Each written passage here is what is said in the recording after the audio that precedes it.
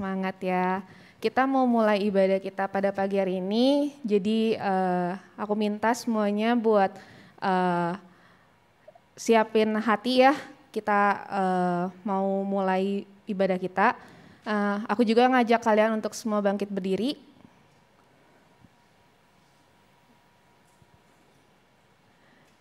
Kita akan sama-sama nyatakan iman kita melalui iman pengakuan iman rasuli. Pengakuan iman rasuli. Aku percaya kepada Allah, Bapa yang Maha Kuasa, Khalik langit dan bumi, dan kepada Yesus Kristus, anak yang tunggal Tuhan kita, yang dikandung dari roh kudus, lahir adak darah Maria, yang menderita sengsara di bawah pentahan Pontius Pilatus, disalibkan, mati dan dikuburkan, turun ke dalam kerajaan maut. Pada hari yang ketiga, bangkit pula dari antara orang mati, naik ke surga, duduk sebelah kanan Allah, Bapa yang Maha Kuasa. Dan dari sana ia akan datang untuk menghakimi yang hidup dan yang mati. Aku percaya pada kudus, gereja yang kudus dan am, persekutuan orang kudus, pengampunan dosa, kebangkitan orang mati, dan hidup yang kekal. Amin kita sama-sama uh, doa ya. Selamat pagi Bapak, terima kasih atas hari baru yang telah Engkau berikan pada kami. Terima kasih atas kesehatan, sehingga kami semua bisa berkumpul di tempat ini untuk sama-sama beribadah ya Tuhan. Tuhan, uh, Sebentar kami akan memulai ibadah kami pada hari ini. Kiranya Engkau yang pimpin setiap kami yang hadir. Uh, berikan kami uh, hati ya Tuhan yang siap untuk mendengarkan firman-Mu. Dan terlebih lagi ya Tuhan untuk menerima sakramen perjamuan kudus pada hari ini. Berdoa juga untuk semua pelayan yang melayani pada hari ini. Baik pembicara juga ya Tuhan Engkau yang um, pimpin mereka. Dan biarlah ya Tuhan Engkau, Engkau yang pakai mereka lebih lagi ya Tuhan untuk mem, uh, memberkati kami semua juga di tempat ini dan semuanya hanya untuk kemuliaan Tuhan saja. Kami serahkan jalannya ibadah hari ini ke dalam tanganmu, hanya dalam namamu kami berucap syukur. Amin. Selamat beribadah, servers.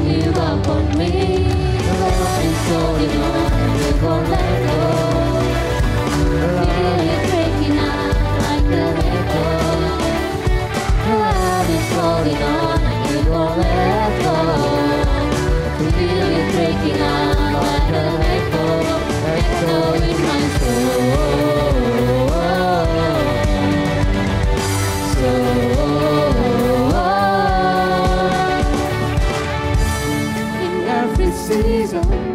You keep repeating promises to me. No, there's no stopping what you have started until it is complete. What my mind says I'm not good enough. God, you're enough for me. I decided I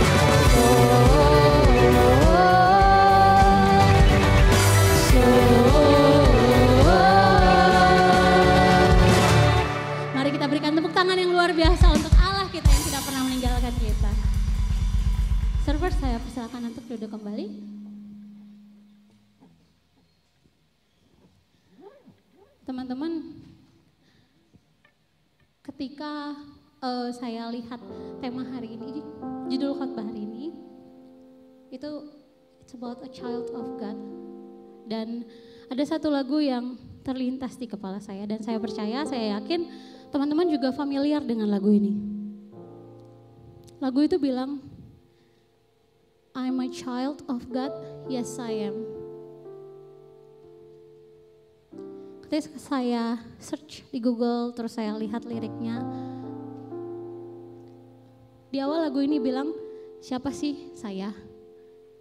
Sehingga raja yang amat tinggi mau turun untuk saya.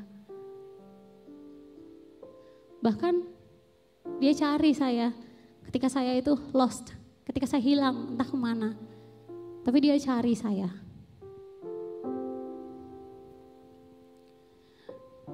Dan lagu ini juga bilang menjadi penguatan bagi saya. Kenapa Tuhan seperti itu? Karena saya ini anaknya. Mungkin teman-teman pernah uh, pergi jalan atau hangout sama teman-teman, terus di chat sama ayah, bapak, papi, papa, dedi, apa pun sebutan teman-teman kepada orang tua kita. Di mana? Nanti pulang sama siapa? Kalau yang mungkin perginya bareng teman-teman atau yang bawa kendaraan sendiri, nanti pulang hati-hati ya. Ayah itu cari kita. Dan hal yang sama berlaku seperti Tuhan ke kita. Ia adalah Bapa yang cari anaknya yang hilang.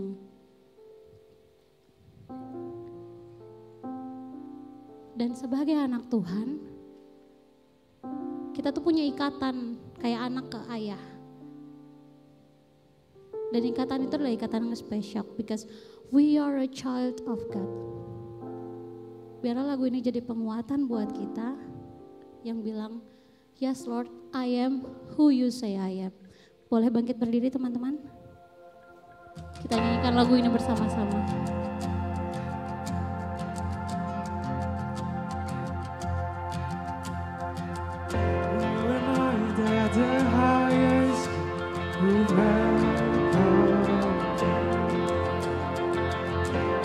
Lost, but he broke me.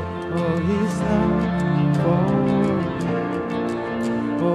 Oh, his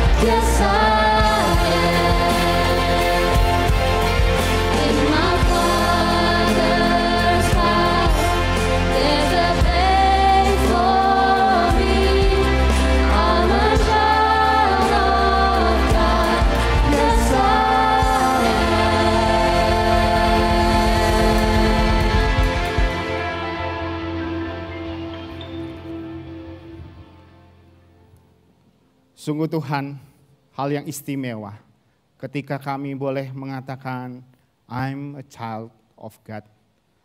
Namun demikian Tuhan kami rindu bahwa ketika kami boleh mengucapkan I'm a child of God, kami sungguh memahami akan maknanya.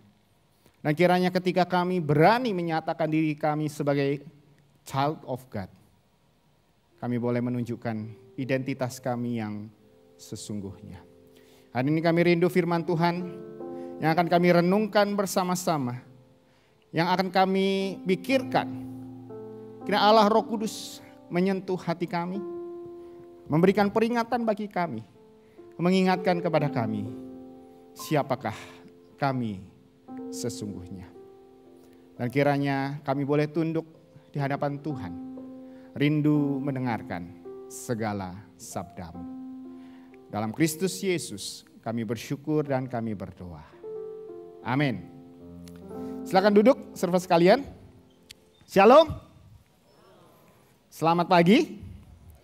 Senang sekali boleh berjumpa dengan teman-teman pada pagi hari ini. Ya, makasih. Jos.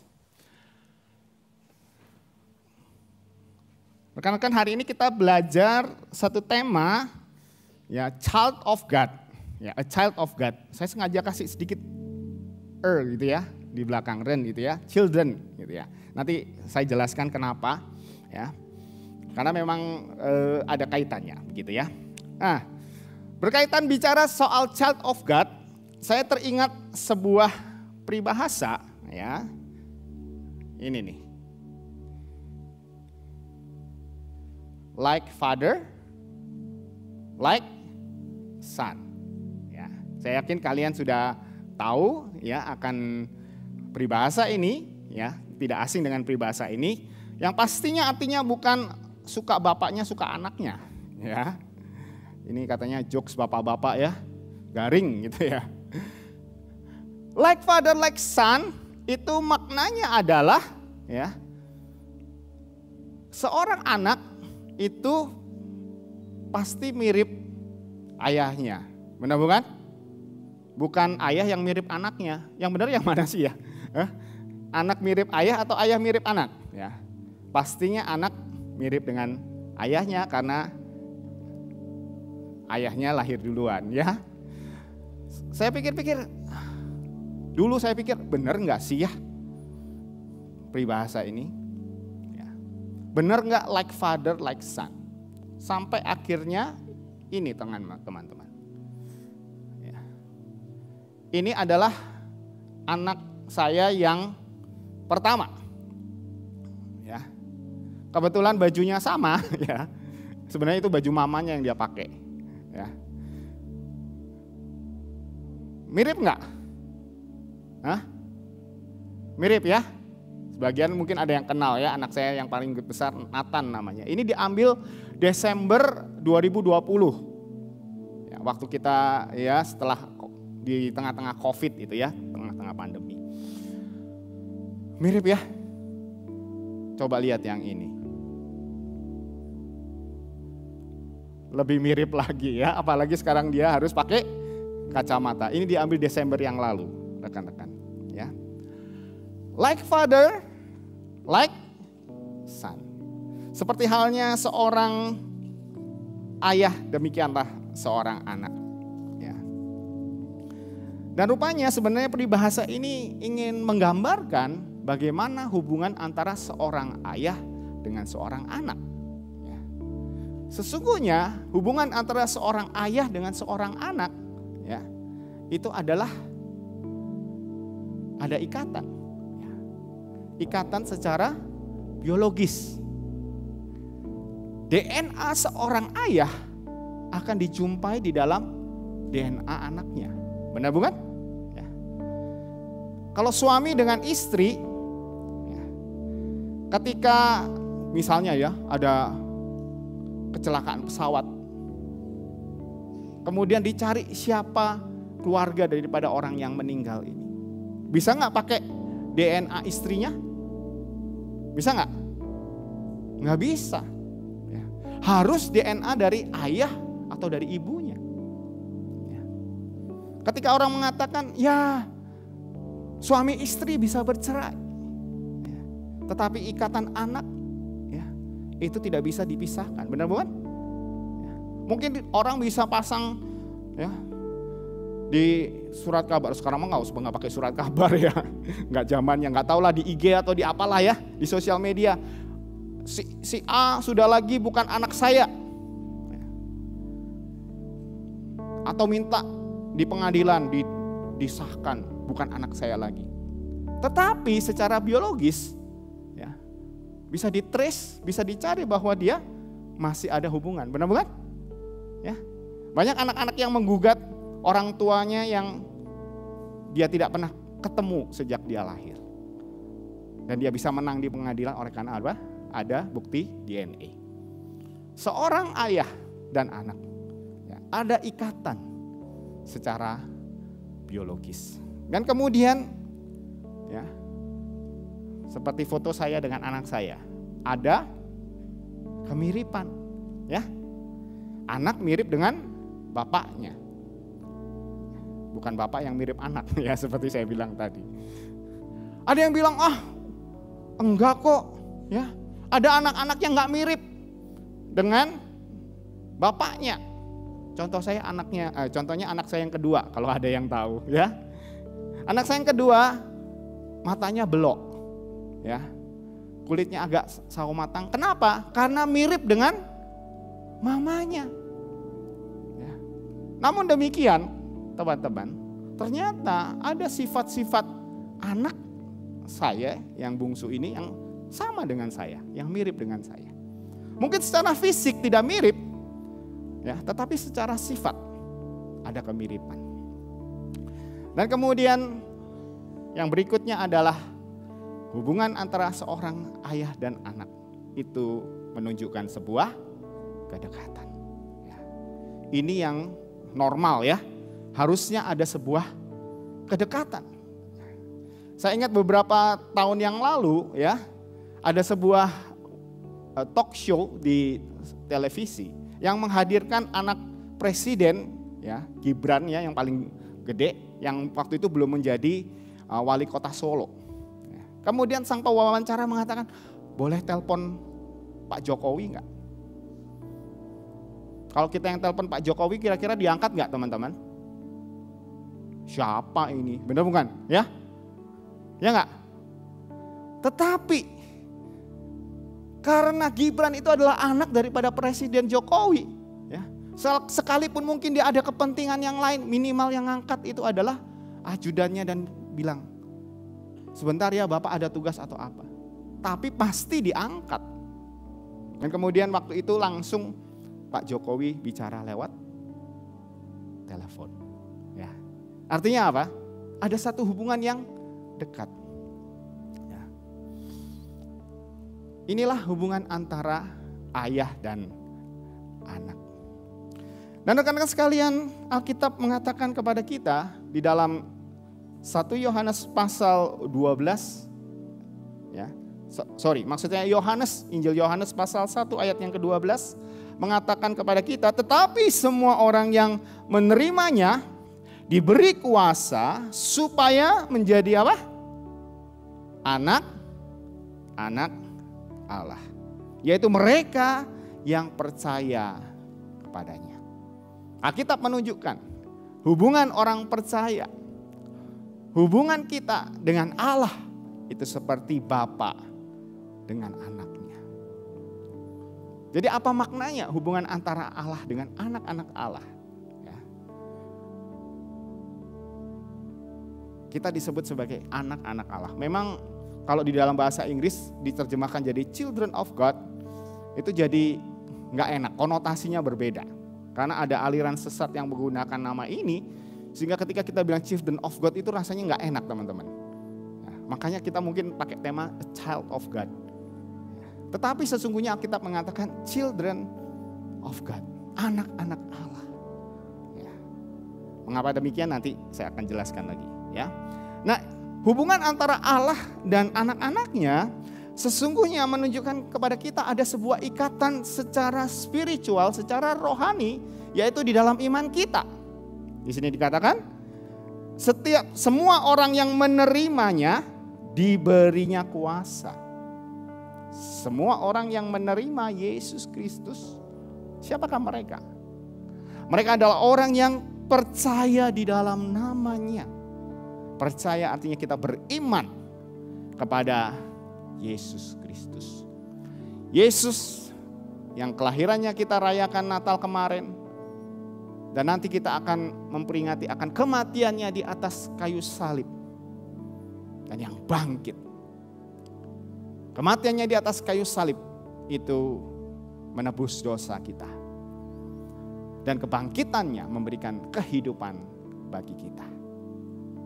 Dan kepada Kristus ini kita beriman kepadanya. Inilah ikatan yang Tuhan bentuk sehingga kita boleh menyebut Allah itu sebagai Bapa kita. Ya. Ada bercandaan begitu ya. Yang paling dekat dengan Allahnya itu adalah orang Kristen. Kenapa? Manggilnya Bapak. Coba yang lain, manggilnya Om. Ya. Belum lagi yang satunya lagi untuk manggil Allahnya aja harus pakai toa gitu ya. Kita bisa menyebut Allah kita dengan Bapa. Ya, karena kita ada sebuah ikatan. Dan dikatakan juga bahwa seperti halnya seorang ayah kepada anak, Bapa kepada Allah, kepada anak-anak kita sebagai anak-anak Allah, kita juga memiliki keserupaan, ya, kemiripan dengan Allah kita. Ketika manusia pertama kali diciptakan, dikatakan oleh firman Tuhan dalam kitab Kejadian bahwa manusia diciptakan menurut gambar dan teladan Allah. Ada sifat Allah walaupun di dalam keterbatasannya yang dimiliki oleh manusia. Allah itu kekal, manusia juga kekal, tapi kekalnya Allah dan manusia berbeda. Allah kekal, tidak ada awal, tidak ada akhir. Manusia kekal, ya ada awal yaitu kelahiran kita, tetapi setelah kematian itu masih ada kehidupan yang lain. Dan kemudian kita katakan bahwa kalau kita adalah anak-anak Allah, kita memiliki keserupaan dengan Dia. Ya. Oleh karena itulah orang Kristen kenapa disebut sebagai Kristen? Ya. Kristen itu sebenarnya dulu olok-olok. Maknanya adalah Kristus, Kristus kecil. Ya. Maknanya ada Kristus-Kristus kecil. Artinya apa? Sesungguhnya kita ini serupa dengan Yesus Kristus.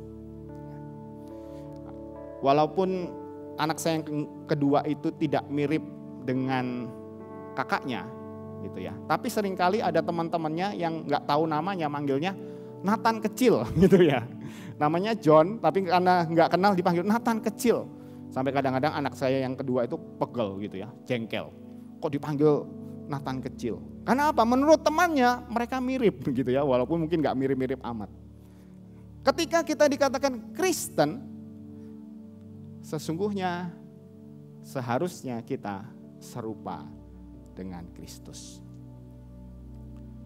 Dan rekan-rekan sekalian, hubungan Allah dan anak-anak Allah sesungguhnya harus menunjukkan kedekatan kita dengan Allah. Ada kesalahkaprahan tentang konsep Allah Tritunggal yang ada di dalam konsep secara umum, ya. Kita dengar beberapa waktu yang lalu ada yang salah menginterpretasikan atau mengartikan Allah Tritunggal. Dianggapnya Allah Tritunggal itu apa? Allah Bapa, Allah Anak, lalu siapa? Maria. Ya. Baru tahu ya? Wah, nggak ngikutin siaran TV ini ya. Di buku pelajaran PPKN ada yang menulis demikian teman-teman. Ya. Jadi menurut anggapan mereka, ya, Allah Tritunggal itu adalah Allah Bapa, Allah Anak dan Maria. Karena menurut konsep mereka, Yesus disebut anak Allah oleh karena apa? Karena ada Allah ibu gitu ya. Makanya disebut Maria itu ibunya Allah. Tapi sesungguhnya konsep Allah Tritunggal bukan demikian. Allah Bapa, Allah Anak, dan Allah Roh Kudus. Kenapa Yesus disebut sebagai anak Allah? Oleh karena dia memiliki kedekatan dengan Bapaknya. Dalam satu persekutuan, ya, dalam keesaannya sebagai Allah. Pribadi yang berbeda itu memiliki satu hubungan yang begitu erat sehingga Yesus ya, Allah yang berinkarnasi menjadi manusia. Ini konsepnya memang agak berat ya. Itu memiliki hubungan yang begitu dekat dengan Allah. Dan oleh karena itu Yesus disebut dengan anak Allah ya, dengan huruf besar. Ya, Son of God. Kenapa Son of God? Karena dia adalah satu-satunya yang tunggal. Ya, the only son dari Allah. Yang tidak hanya di dunia ini tetapi di seluruh alam semesta. Oleh sebab itu kalau kita ya, disebut dengan a children of God. Anak-anak Allah dengan huruf kecil. Ya, menunjukkan kita dalam satu kumpulan. Ya, dan itu berbeda dengan Kristus. Namun demikian kita memiliki hubungan yang dekat. Dan di sini dikatakan Yohanes 1 ayat 12, tetapi semua orang yang menerimanya diberi kuasa. Kuasa menunjukkan kepada kita sesungguhnya ketika kita menjadi anak-anak Allah. Kita memiliki hak yang istimewa. Ya. Menjadi anak Allah itu adalah hak yang istimewa. Pertanyaannya hak apakah itu? Ya. Di dalam Galatia pasalnya yang keempat ayat ke-6 sampai ke-7 mengatakan, dan kamu adalah anak. Maka Allah menyuruh roh anaknya ke dalam hati kita yaitu roh kudus. Yang berseru ya Aba, ya Bapa. Ayat ke-7. Jika kamu, jadi kamu bukan lagi hamba, melainkan anak. Jikalau kamu anak, maka kamu juga adalah ahli-ahli waris oleh Allah. Karena kita mendapatkan hak sebagai anak, kita mewarisi apa yang menjadi milik Bapak kita. Pertanyaannya, apa yang dimiliki oleh Bapak kita? Apa yang dimiliki oleh Bapak kita? Yang dimiliki oleh Bapak kita adalah rumah di surga. Oleh karena itu Tuhan Yesus mengatakan, Yohanes 14 ayat 2, di rumah Bapakku banyak tempat tinggal. Jika tidak demikian, aku mengatakan kepadamu, sebab jika aku pergi ke situ, aku menyediakan tempat bagimu. Inilah janji Tuhan. Kita mendapatkan bagian di dalam rumah Bapa kita di surga. Namun demikian teman-teman sekalian, menjadi anak-anak Allah itu bukan hanya sekedar hak, tetapi kita juga harus menunjukkan bagaimana kita untuk menjadi anak-anak Allah. Ya. Dan Rasul Yohanes mengajarkan kita di dalam bagian yang di bagian yang lain yang dia tulis di dalam surat-suratnya. Di dalam 1 Yohanes 3 ayat 7 sampai ayatnya yang ke-10 ya. Ayatnya lumayan ya. Nanti kita akan mempelajarinya bersama-sama. Bagaimana kita menjadi anak-anak Allah. Di ayatnya yang ke-7 bagian ini mengatakan, "Anak-anakku janganlah membiarkan seorang pun menyesatkan kamu. Barang siapa membuat yang berbuat kebenaran adalah benar, sama seperti Kristus adalah benar. Di dalam terjemahan bahasa Indonesia masa kini, terjemahan yang lain gitu ya.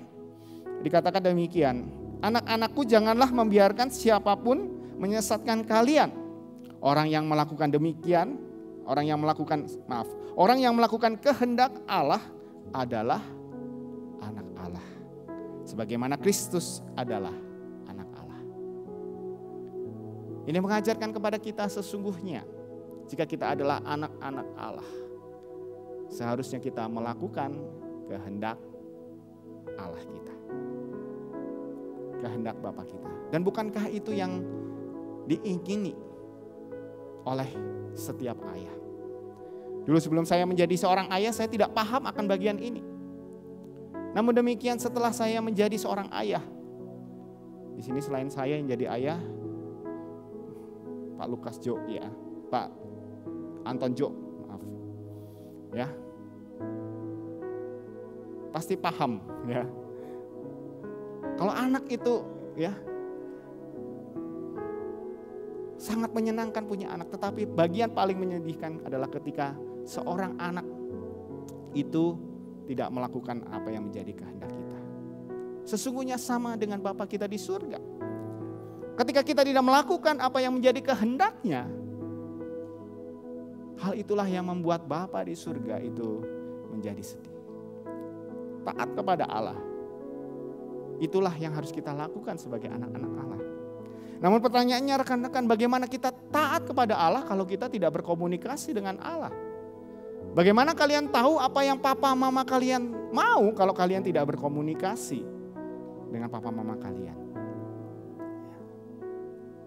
Mari kita belajar berdoa, belajar membaca firman-Nya. Ya. Mulai daripada sejak masa muda. Supaya kita boleh mengerti apa yang menjadi kehendak daripada Bapa kita. Jika kita ingin menjadi anak-anak Allah, marilah kita mencari kehendak Tuhan melalui doa dan melalui firman. Bagaimana menjadi anak Allah, anak-anak Allah yang berikutnya. Ya. Di dalam ayatnya ke-8 sampai ayat yang ke-9, 1 Yohanes pasal 3, saya akan bacakan yang versi bahasa Indonesia masa kini. Tetapi orang yang terus-menerus berbuat dosa adalah anak iblis. Di sini Yohanes agak tegas ya. Sebab iblis berdosa sejak semula. Untuk inilah anak Allah datang, yaitu untuk menghancurkan pekerjaan iblis. Ayat ke-9. Orang-orang yang sudah menjadi anak-anak Allah tidak terus-menerus berbuat dosa, sebab sifat Allah sendiri ada padanya. Karena Allah itu Bapa kita, maka kita tidak dapat terus-menerus berbuat dosa. Sebagai anak-anak Allah, seharusnya kita membenci dosa. Rekan-rekan, membenci dosa itu artinya bukan kita kebal terhadap dosa. Ya. Satu waktu karena kedagingan kita, kemanusiaan kita, kita bisa jatuh dalam dosa. Ya, bahkan saya mungkin sebagai hamba Tuhan, sebagai pendeta, rekan-rekan majelis pun juga bisa melakukannya. Gebi sebagai hamba Tuhan juga bisa berbuat dosa. Namun ketika dikatakan kita benci dosa artinya kita tidak nyaman ketika kita melakukan dosa. Ya. Ketika kita tidak taat kepada Allah, ada perasaan yang tidak nyaman. Ketika kita melakukan apa yang tidak berkenan bagi Tuhan, itu membuat hati kita tidak nyaman. Saya mempunyai seorang teman ya yang bercerita kepada saya dia dilahirkan di keluarga bukan Kristen ya. Nah, dia bercerita bahwa ketika dia dulu sekolah ya, masih SD gitu ya. Dia suka pergi ke kantin ya.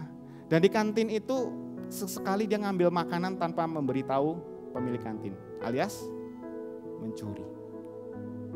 Dia bilang ketika waktu itu ya, ketika dia belum kenal Tuhan, ya, dia belum ke sekolah minggu, ngambil itu rasanya nggak apa-apa deh ya. Ya keluarga saya kan kekurangan, kan saya lapar, saya juga mau makan.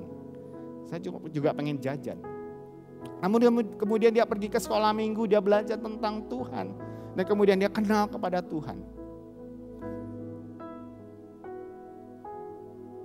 Dan sejak dia mengenal Tuhan, ketika dia mau mengambil ya, makanan itu, ketika dia mau mencuri, ada sesuatu yang di dalam hatinya mengatakan, jangan lakukan itu.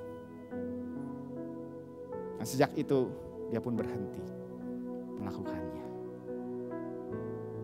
Membenci dosa bukan berarti kita kebal terhadap dosa. Tetapi kita punya kesadaran bahwa apa yang kita lakukan itu tidak benar di hadapan Tuhan. Ada teguran di dalam hati kita. Jadi rekan-rekan kalau kalian masih nyaman dengan dosa, hati-hatilah. Jangan-jangan kalian belum jadi anak-anak Kalau kalian nyaman ketika berbuat dosa, jangan-jangan kalian tidak lagi mau mendengarkan suara daripada Tuhan. Seseorang yang menjadi anak-anak Allah, dia akan benci dosa. Artinya apa? Dia berusaha menjauhkan diri dari dosa. Dan hal berikutnya bagaimana kita menjadi anak-anak Allah. Bisa kita lihat di ayatnya yang ke-10. Saya akan bacakan yang versi bahasa Indonesia masa kini. Inilah bedanya antara anak-anak Allah dengan anak-anak iblis. Barang siapa tidak melakukan kehendak Allah atau tidak mengasihi saudaranya, ia bukan anak Allah. Menjadi anak Allah artinya kita mengasihi sesama kita. Rekan-rekan sekalian, Allah adalah kasih. Dan sebagai anak Allah yang ingin menun, yang seharusnya menunjukkan sifat-sifat Allah, seharusnya kita juga memiliki kasih. Dan kasih itu adalah bukti kita adalah anak-anak. Dalam surat Yohanes ini dikatakan juga, bagaimana kamu bisa mengasihi Allah yang tidak kelihatan kalau kamu tidak mengasihi sesamamu yang kelihatan.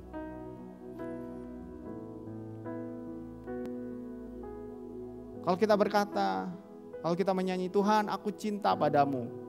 Ya, tapi kita membenci sesama kita.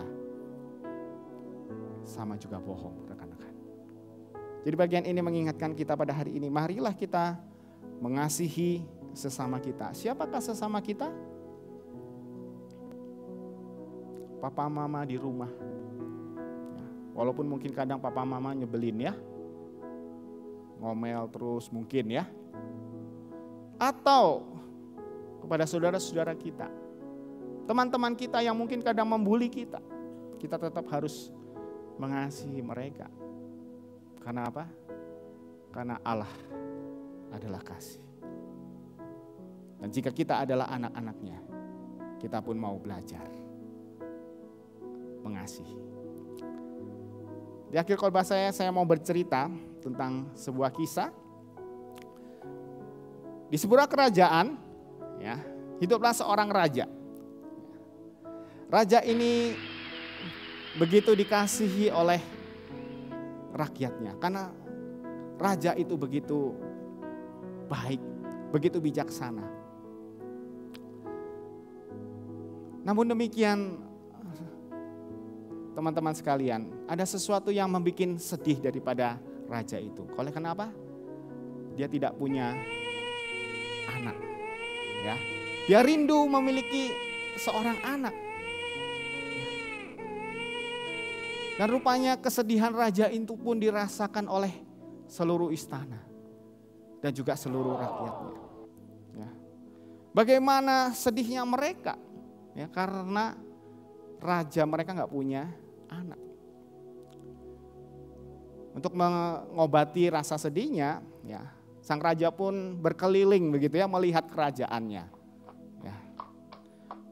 Dan ketika dia berkeliling, pada waktu itu dia melihat ada seorang pengemis, seorang anak ya, gelandangan yang makan dari sisa-sisa sampah. Ya. Begitu lahapnya oleh karena anak itu begitu kelaparan.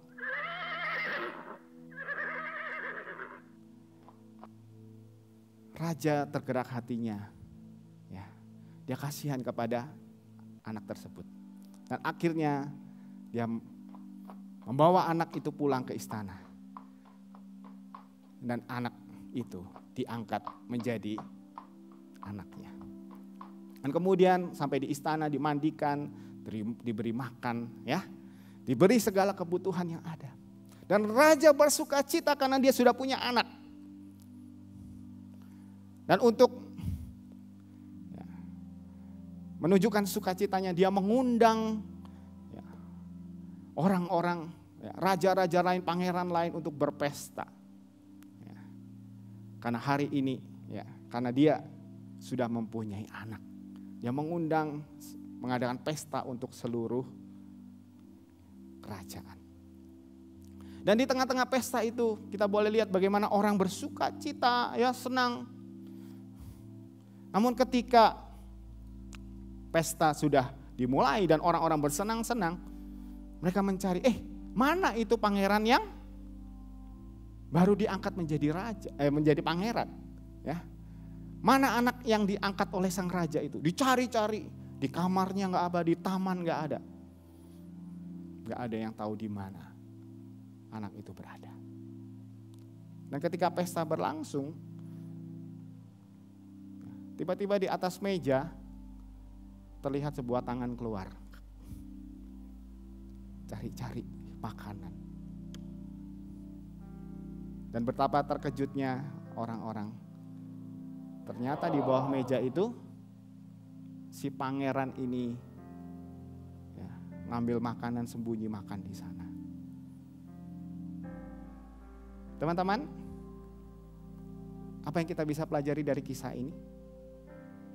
Sesungguhnya anak ini sudah menjadi anak raja. Dia boleh menikmati segala sesuatu yang ada di dalam istana itu sebagai seorang pangeran. Namun demikian bagaimana perlakuannya? Perilakunya dia masih sama seperti seorang gelandangan. Sesungguhnya ini adalah gambaran daripada setiap kita. Oleh karena Kristus sudah mati di atas kayu salib menggantikan setiap kita. Sehingga kita diberi kuasa untuk menjadi anak-anak Allah.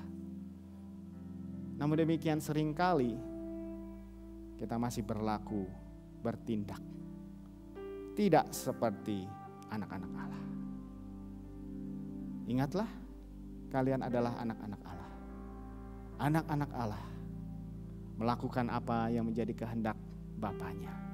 Anak-anak Allah membenci dosa dan anak-anak Allah mengasihi sesamanya. Maukah kita menjadi anak-anak Allah yang demikian? Serva sekalian arahkan hatimu kepada Tuhan dan terimalah berkat Tuhan.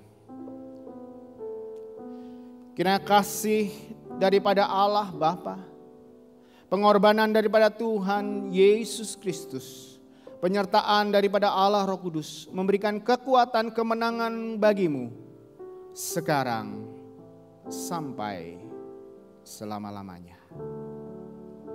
Amin. Silakan duduk.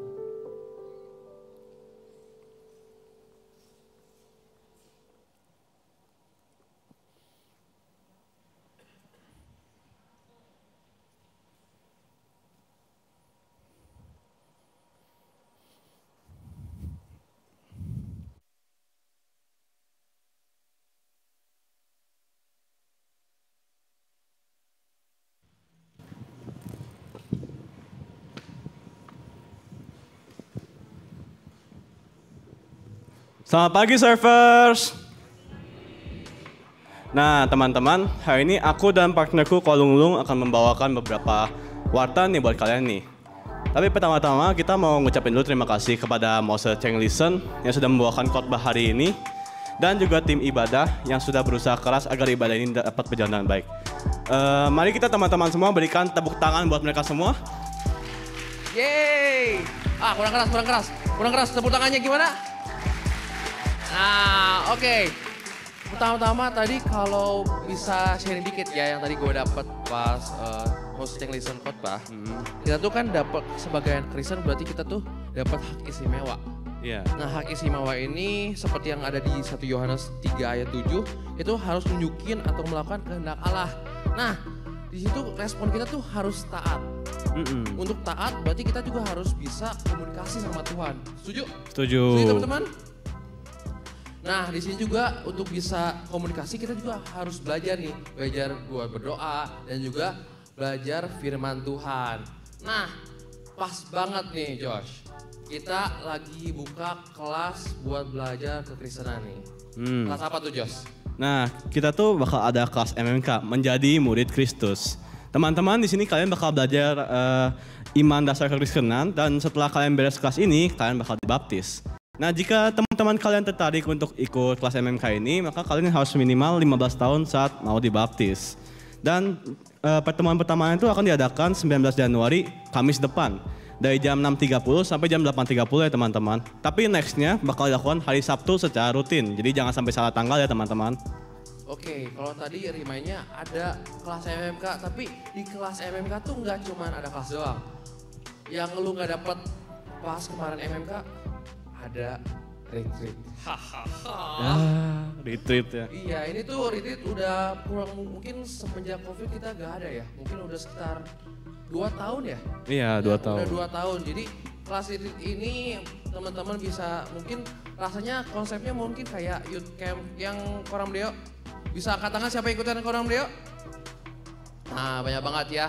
Di sini juga kita akan melakukan retreat juga di kelas MMK, tapi poinnya bukan retreatnya ya, Hmm. karena retreat itu adalah sebagian eh, journey aja ya, jadi bagian dari kelas MMK. Jadi teman-teman untuk eh, kita juga bisa ngajak lagi buat teman-teman juga buat ikutan kelas MMK. Jangan lupa buat daftar karena kelas MMK akan dimulai tanggal Tanggal tanggal berapa? 19 Januari. 19 Januari hari Kamis. Jadi pastiin teman-teman daftar untuk mengikuti kelasnya. Oke. Hmm. Nah, kok hening ya? Waktunya sudah habis ya apa kok ya? Enggak, enggak masih banyak, masih banyak. Oh. Persembahan, persembahan dulu, persembahan. Nah, eh, teman-teman, gue pengen ingetin seperti biasa, teman-teman yang bawa persembahan bisa mengambil amplop di depan dan juga menaruh amplop di setelah selesai ibadah. Dan buat teman-teman yang online nih, kalian bisa saja scan barcode yang ada di depan ya. Oke, kita kasih waktu dulu, spare waktu. Jadi biar teman-teman juga bisa memberikan persembahan terbaik untuk Tuhan.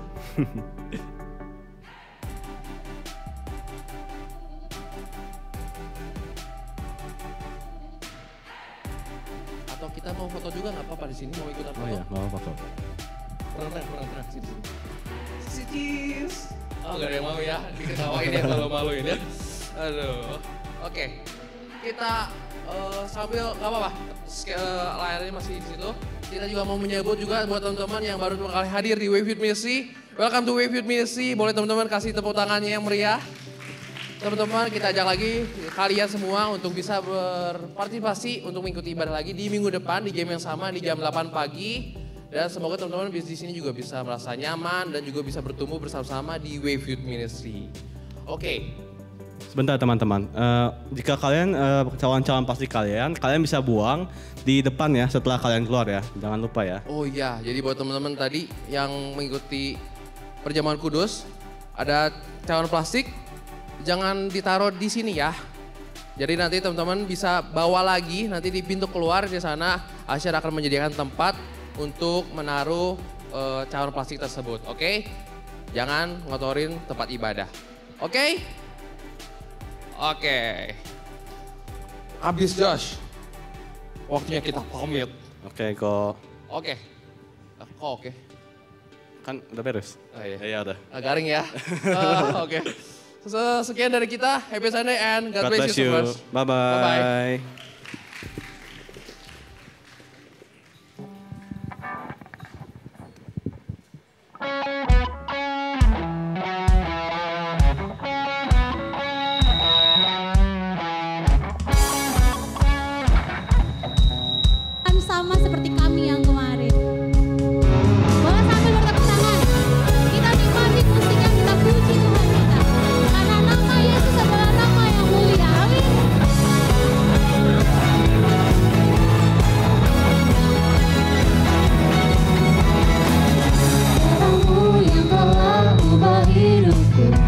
casualidad.